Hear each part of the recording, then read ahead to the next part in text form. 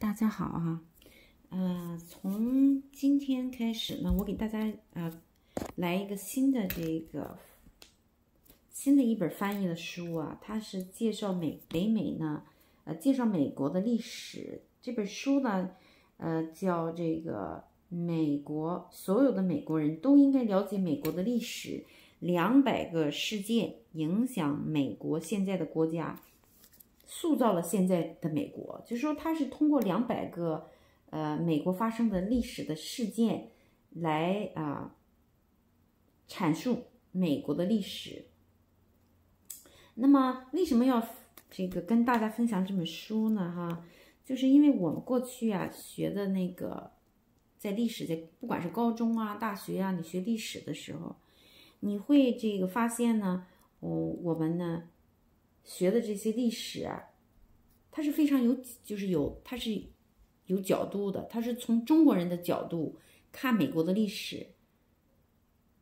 那么，一件历史事件当它发生的时候啊，每个不同的参与者，当他写进这个历史的时候呢，把他这个事件写进去的时候啊，都是非常有意思的。他是啊。有不同的角度，完全有时候会，你会看到不同的角度的时候，你会觉得非常非常的吃惊。他们怎么会这么想呢？对吧？比如说举一个例子来说，就是说朝鲜，呃，朝鲜战争。那么朝鲜战争的时候的参与者呢，当然了，北朝鲜，对吧？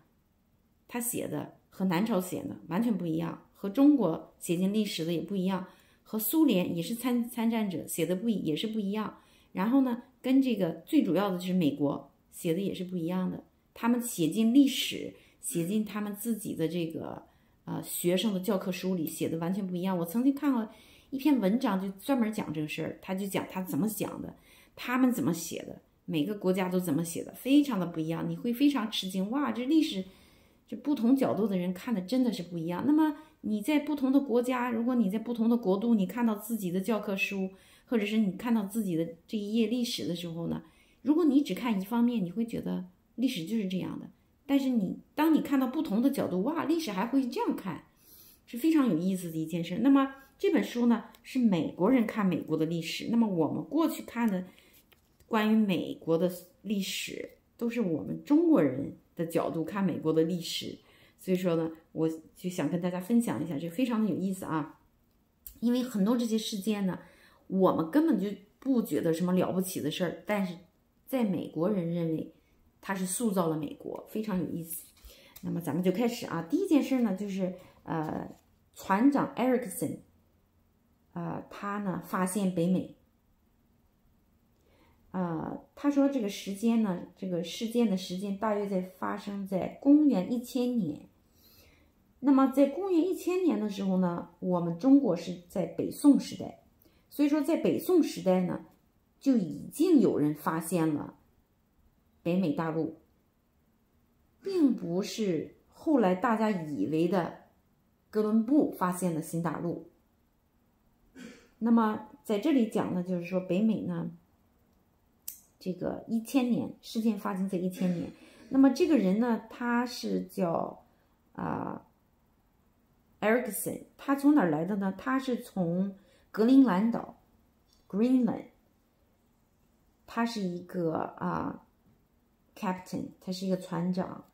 他发现了哪儿呢？他发现了，他他这个驾船呢，从北欧格陵兰一直到这个现在的加拿大东北部有一个地方，现在的名字叫 Newfoundland，就是纽芬兰。Newfoundland 就是新发现的土地。就是因为这个 Erickson 发现了这块东北部这块地方，呃，他建立了一个村庄叫 Vinland，V-I-N-L-N-D，他发现的，这个才是真正的第一次欧洲人，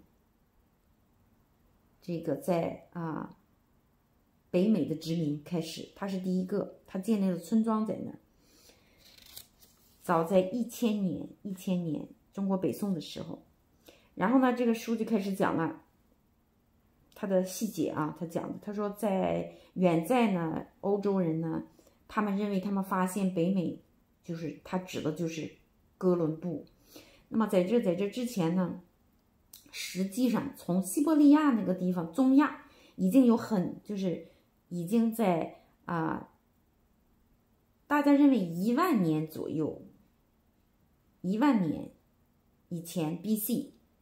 公元一万年以前就已经有人陆陆续续从这个呃从这个柏林海峡啊。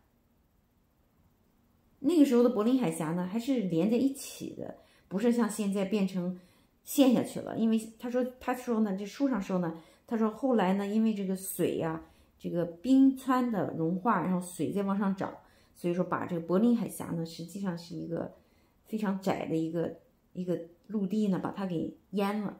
在那之前呢，已经中亚人已经从那海峡过来了。这些人呢，他说这些人呢，啊。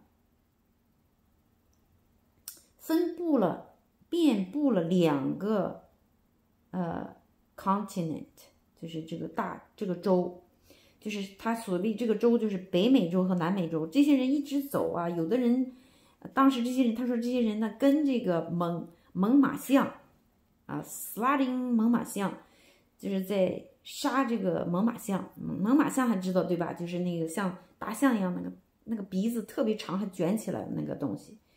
那个时候还有这个东西，他跟他们做斗争，然后呢，一直啊把这个这些中亚人一直把文化推到整个北美，然后南美，他们建立了好多不同的文化。那北面呢，就是咱们现在所知道的这个 Eskimo，就是爱斯基摩人，还有印加人，还有玛雅人这些文化，在中美洲、南美洲都建立了好多的文化。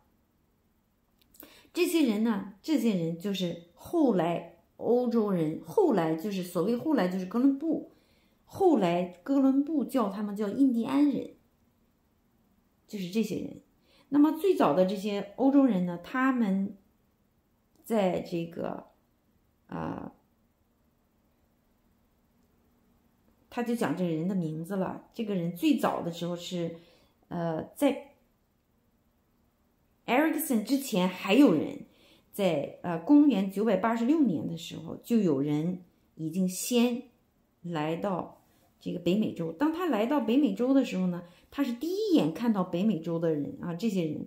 那么这些人他们看到了以后呢，最早这些人也是从格陵兰来的人，他们并没有做任何事情，他们没有上这个陆地，他只是眼睛看到了这个陆地，然后他们就回去了。然然后呢？呃，a decade later，就是十年十几年以后呢，Ericsson 就是后来咱们讲，就是真正的踏入北美地的人，第一个人是 Ericsson。Ericsson 呢，他呢在那儿呢待了一个冬天，但是这个冬天呢非常非常的严酷。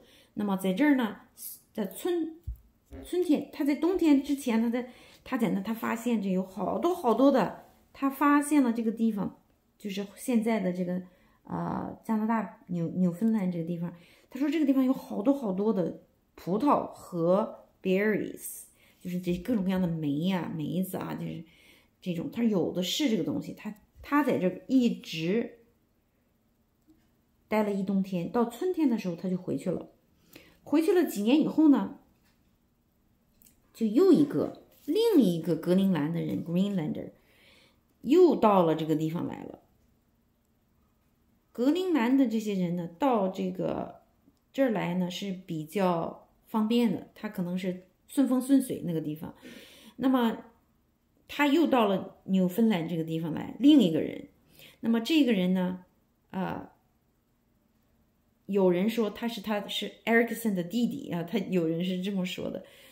呃，然后呢，他的兄弟，他的兄弟，然后呢，他到这来以后呢。他跟当地的就就跟这个当地的印第安人就交火，Eskimo 爱斯基摩人就交上火了，跟他们，他们对他非常非常的不就是不友好嘛，他他要占他的地，当然他不会友好了，对吧？那么他们就打起来了。那么这些人呢，当时呢，呃，欧洲这些人呢，他们叫印第安人叫什么叫 Dwarfs，叫他们小人，他们个儿长得矮，当然了。他们和北欧的人比，他们个儿要矮，对吧？所以说，啊，这些呢，最后，最后他跟当地的人，这些当地的人就把这个人就给杀了。这个人没有回到家乡，他就被杀了。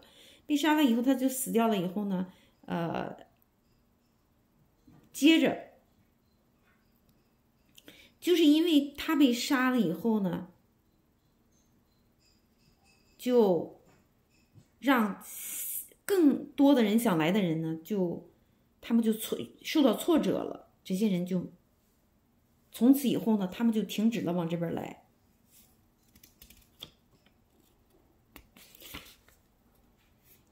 然后呢，他就讲这个呢，他就说，嗯，